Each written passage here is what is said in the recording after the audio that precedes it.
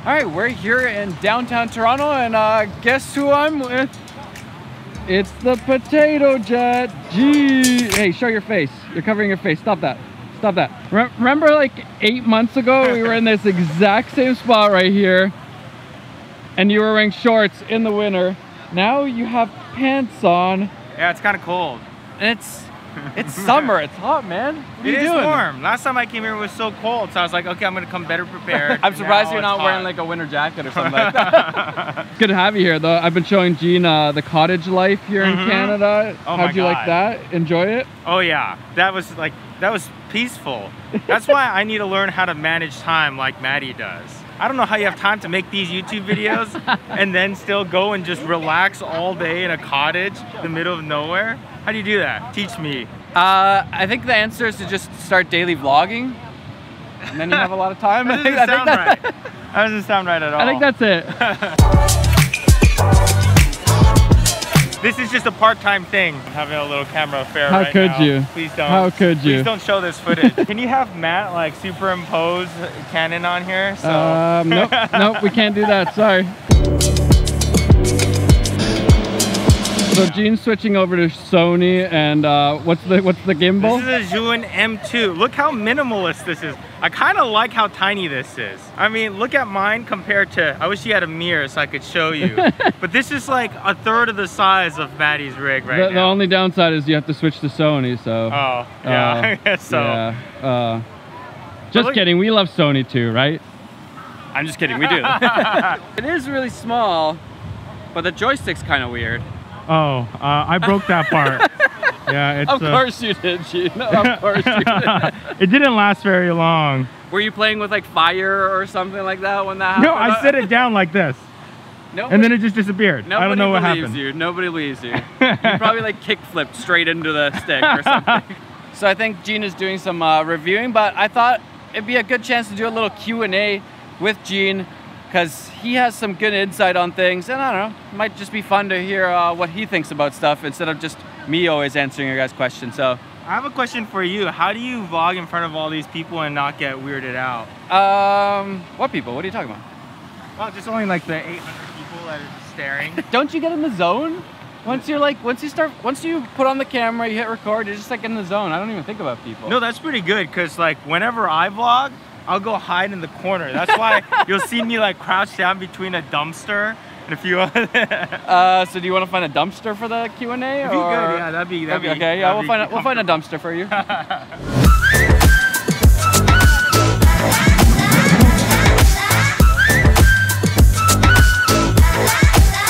he, Oh, this way. he always has to outdo me in these intros.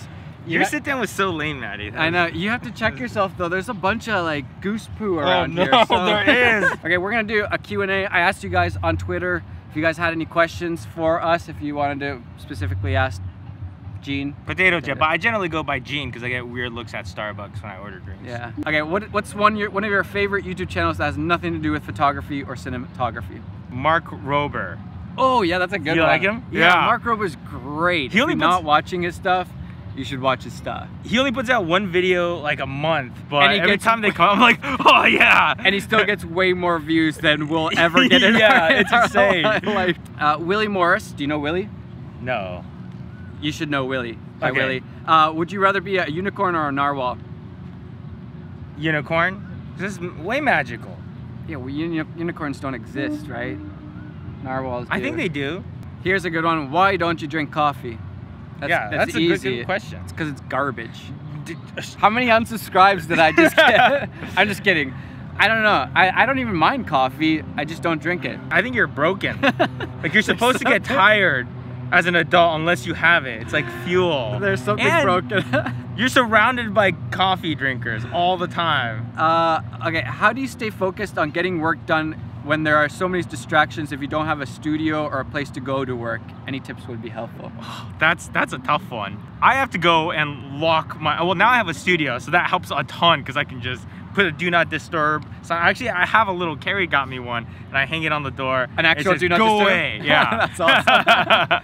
So that's a good one. Well, yeah, if you're working from home and you have distractions, get rid of those distractions, whatever they are. Like if it's the internet or whatever, Turn it off. Get rid of it. Well, one way I try to explain it to a lot of people is that it's kind of like being on a freeway and you're like, once you're in the zone, you Oh, just have yeah. to stay on that zone as long as possible. Yeah. And every little teeny distraction is like getting off the freeway and then and like, having to get back on it again. Exactly. later it's not yeah. like you could just stop and then just go full speed again. You have to go and deviate, navigate through some crappy lights and some Yeah. windy roads that don't make sense, and then you can finally get back on. Yeah, I think you just got to get in the zone. Just practice that. Yeah. Okay, this one's a good one. If you had to restart your careers as video filmmakers, what would you do different? That's a tough one. I'd probably have started YouTube way Same. earlier. That's- yeah, because I didn't start YouTube until after about 10 years of doing video stuff. Uh, did you? We about to get current? Did you? We have invaders. Think they're gonna join us for the Q and A? this is my grass. Get away. Look, he's looking at me. He's like, yo, don't mess with me. He's gonna answer the the next question for you guys. yeah, I, th- I would say the same thing. I would have started YouTube earlier. I would have started to build my own business, my own brand a lot earlier than I did. Yeah, for sure. And actually, I started a YouTube channel in I think 2009, and I put out about a few videos, and I actually got a decent batch of subscribers. And I was like, this is stupid. This is it's kind of like half this is stupid and half like this is embarrassing. I don't want people to find this. and I deleted it. And that's probably my biggest regret ever. Was that channel also called Potato Jet? no, Okay. it was uh, something completely random. Sorry. Potato They Jet is just not random. Yeah. It was something completely random. Potato Jet's just normal. That Yes. was- okay, Jared asks, how do you overcome feelings like people are judging you for making vlogs, YouTube content, including family and friends? I would say to this one, like you just gotta get over it. for the first few vlogs, I was honestly like, I don't think I want my uh, friends and family to see this. and you know, it took me a long time to hit like even a thousand subscribers. That took me a while. So for the longest time, I told nobody about it. I just kind of started making it. Uh, But I feel like the longer you wait, the more awkward it gets. It's like, oh yeah, I've been making these videos for three years now. You know, it's like, it's like super embarrassed. Like you're, you're it, you can tell that you're embarrassed by it. You just gotta, if you're gonna do this, just be you, do you. Don't be shy. Don't be overly conscious about what other people think, because that's always gonna. You're never gonna be able to make a really good channel if you're always thinking about what other people are thinking about you. You just have to make the things that you think are good and not worry about what other people are thinking about. exactly. I don't care at all about all these people behind here just staring at us. I don't. That doesn't bug me at all. Do the do the geese? yeah, They because bother you. subconscious. Go away. What did you do when you were first getting into videography, and how did you get? How did you start getting recommended? Don't be a piece of. No. no, Are you calling this person? no, no, I'm not. But maybe, actually, I don't know. He could be. I think a lot of it is word of mouth. You'll encounter a lot of new clients, but there's always a few Yeah. that are like, we really like working with you and we want to continue working with you. And it really just takes a few good contacts to branch out into a bunch, especially if you're doing good work. You're easy to work with, you're fun to work with, and Yeah. and uh, you don't you don't backstab people because that happens all the time. At least in. What's what's it like here? Is no, it- no, no, we're nice people here. Yeah, of, Yeah. yeah. of course. You Canadians are super innocent. Even though someone just tried to steal my tripod about Off 20 back. minutes ago. Yeah, we were just eating I'm ice taking cream. this. yeah, I was like, what? What is this? and then proceeded to walk and try to grab somebody's bike. I, Yeah. He was definitely the worst pickpocket in the world. yeah, Canada is a really safe place, huh? Yeah, totally. but what was your first project? What, what, what did you first get? It, like, what was your first paid things? Oh, uh, music video for 200 bucks, like for shooting, editing, all that stuff. It only took me like four or five days to do. Uh, and then, So yeah, you're I made the making good money. yeah. Uh, but you know, this all has to start somewhere. What was Oh, your yeah. first paid gig? Wedding. Wedding. Okay, this Yeah. this guy Oh, just man. took Check a this out. big dump right beside us. Oh, That is man. that is not even. I'm gonna have to. I'll prove it to you guys right here. Fresh, fresh one right there for you guys. Thanks, buddy. Appreciate it. How can we work like under these conditions? What's the funnest job you've ever done? A Funnest job? Uh, I mean, not Which is fun is including not including YouTube Yeah. stuff. Uh, probably I did a gig for Visit Norway. We got to travel around in Norway every single day, a Oh. different hotel, different restaurants, different epic places. Me, my wife, and two of our friends. That was probably the most fun job I think. I've That sounds awesome. Yeah, that was fun. Travel gigs. How about you? I can't go. I can't follow Beat up that, with beat that, Mine's not that- I- like I once got to go on a helicopter while filming. That's that's all I got. What's your favorite travel destination and why? Mine's Norway for for like epic landscape scenery, and then if I want to just pure relax, uh, Maui. That's my favorite place. I'm having a really hard time picking one. Carrie, Now you can't ask a friend. Gary, what's my favorite travel destination? It's probably Ugh. Canada, right? Toronto. Toronto, done. Can you tell us which LUT filters you recommend using some stuff in F, uh, Final Cut Pro 10, but want something better? Well, obviously you should use our LUTs. That's, The- that's especially, I mean, the ones at MattiHaapoja.com is uh, they're all right, but really PotatoJet.com. Really though, like, they're re- they're re- mine that you should be really- using. no. I'm an enthusiast photographer. How can I grow my IG account? I don't know anything about Instagram. You, Neither you do I. lot neither you have a lot of followers on I, Instagram. I don't think that I don't think there is a single way to, to really grow Instagram right now. I think you almost have to have some sort of other thing that brings people to your Instagram account. I feel like that's how most people grow nowadays. I think it's really really hard to just grow an Instagram account from scratch. Unless you could post, I think maybe consistently and Nah, that a lot of high quality. You don't think so? No, there's a ton of people who have that incredible photos that post consistently and they still don't have a lot of followers. I bet you I could do that if I wore a bikini in all of my shots. Okay, that's the answer.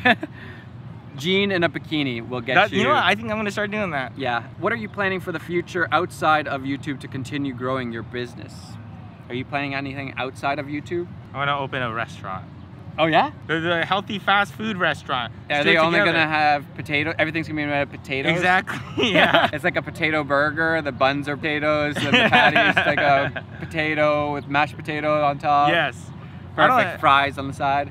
I actually don't. I don't think ahead at all. So that's way too far in advance for me to think about. Right now, my mind is like, Yeah. YouTube videos and.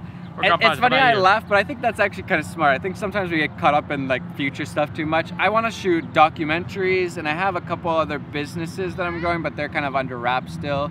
I think. Uh, but yeah, docs. That's what I'd really like to do in the future more of. Uh, okay, this one's a good one. Okay. This might even be the title of the video. Specs aside, what was your favorite camera you ever used? If you had to pick one camera right now, use it for the rest of your life, what would you use? Arri Alexa Mini for sure. Yeah? Well, unless I'm doing YouTube. No, no, no. It's for everything. I can't use an Arri Alexa Mini for that's- YouTube. Well, that's what you chose. You're screwed now. what are you doing? I think my favorite, like if I had to pick one camera, I think it would still be the C300 Mark II right now. Because it can be a one-man band camera, you could you could use it for like YouTube. It wouldn't be outrageous to like be filming this on a C300 Mark II. It'd be a little bit overkill for sure, but it wouldn't be outrageous. Right. You Uh, have autofocus. Yeah, you have autofocus. Uh, the image looks really, really good. I'm always surprised when I look at the footage. I'm just like, dang, this looks really good. Uh, so yeah, I think just like overall, I would right Can now. I change my answer? No, no, no. You're stuck Dang with the Alexa Mini. that thing's so heavy. Sucker. I'm just kidding. okay, what would you change your a- answer to? I did the C300 Mark II. I was purely based on my own opinion. You can't change now. and those things are bulletproof too. Yeah. You can take those things through some serious weather conditions. Yeah, they're- and right now you could probably get it for pretty cheap. I think it is one of the best overall cameras still for a lot of people because something like an Alexa Mini, it's it's an amazing camera, but it does take a lot more to use it. It's not like like when we were using it in, in Las Vegas, I was like, yeah, bring it over, and like it's just like so much work to, to like bring it out. It's so heavy. You can't like just walk somewhere far because it's so heavy. You need kind of need somebody to help out with it. Like the C300, I can just like I can literally film all day long by myself, no problems at all. Like no problems at all. That's why I chose the Alexa Mini, but it's not even that mini. It's it's smaller, but it's like stuffed with like metal plates or something. It weighs a ton. like- Uh, and it blows hot air at you. The battery itself weighs as much as like the C300. Yeah, exactly. Okay, if you were to do an extreme sport, what would it be? Kick flips on a skateboard. Yeah, that's that's that's too soon. You shouldn't- you should- you should- How For those you? of you who don't know, show, show them your scar. go. There you go. That's the full scar right there. That whole thing. Hello. Ugh. yeah, no kick flips for Gene anymore. Okay, what's the most overrated advice you've ever heard? To me, it's the it's that like find something that you love doing and you, you'll never work a day in your life. That that whole thing. Mhm. I think that's like the biggest bunch of BS ever. like if you find something you love, you're gonna work harder than you've ever worked in your life. I feel like. Oh yeah, like I love making YouTube videos, Yeah. but I've never worked so hard in my life. Exactly. That's exactly what it is. Both of us love doing what we do, but we work so hard at it also. Yeah. Like it's Sunday, we're working Yeah, on a Sunday. but it's worth it. It, it Oh, pays off. I wouldn't 100%. trade it for anything else in Yeah. the world, but uh, Yeah. it's a lot of work, and I don't sleep ever. Yeah, but that's I- such a lie. If, if, if you're thinking that once you find that right thing, it's, it's not gonna feel like work ever for you. That's like, nah. Even like the travel videos, like every time I watch back my travel videos, I'm like, that looks so much fun. Yeah. But when you're actually there, it's kind of like, man, it's kind of hot. That's like, why did I have to come to another tropical place? Yeah, I don't want to be hiking with this massive camera backpack with a drone on it, it's sweating buckets. You just want to be at the beach relaxing. But yeah, that's what we do Yeah. we enjoy it, Mm-hmm. right? What are your specs wish list for the next Canon camera? You've heard about the next one, right? Like the, The rumors, the yeah. yeah, it's either the 1DX Mark III or the mirrorless version of that. So what are your specs wish list? Oh, I think I think the things I want is pretty similar to what most people want. Like honestly, this Canon EOS R you're filming with right now, it's so close. You just if it had 4K really with full frame uh, sensor readout. it's about- Yeah, that's- yeah. yeah what, what else? Uh, oh, oh, IBIS would be nice if it was. Do you this. prefer IBIS over EIS? Do you use EIS? Electronic Like- image stabilizer? Yeah, well, that's basically digital, right? Yeah. Like limited and. See, the- I actually in some ways prefer EIS. Yeah, it does crop in a little bit, but you don't ever get the crazy wobbles. Like if you have really good IBIS like on a GH5 and you put on a wide angle lens and you walk with it, the edges are like wobbling like crazy like this. But EIS, you don't ever get that. So I, I almost, in some ways, prefer EIS over IBIS. Yeah, you know, it's pretty solid. And every time I turn it off or accidentally forgot to turn it on on the camera, I look at the footage, I'm like, whoa, that's Yeah, so much shakier than I remember it being. Exactly. But- the only caveat is you can't use it on a gimbal. It like messes up if you're using a gimbal. It, it starts to add uh, vertical movement onto your footage. I think I'm with Gene. It's basically an EOS R with 120 frames per second would be nice to have. Um, 4K full, uh, no crop. IBIS would be nice. I would take it. And that's probably that's pretty much the perfect camera Yeah. for me.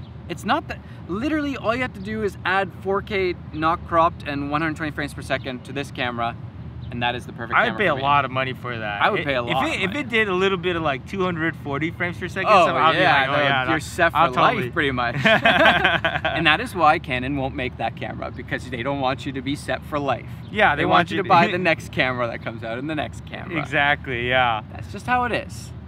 All right. I think that was a good Q&A, first Q&A with Matti and Gene. Thank you for watching. How do we how do How we long do how we do have to how do we stand outro here? this? How do we get out of this? Don't you like to like to take your hand and like cover the lens and stuff? No, That's- do you ever do that? That's so lame. That's I, yeah, I never do that either. I'm just kidding. I probably do that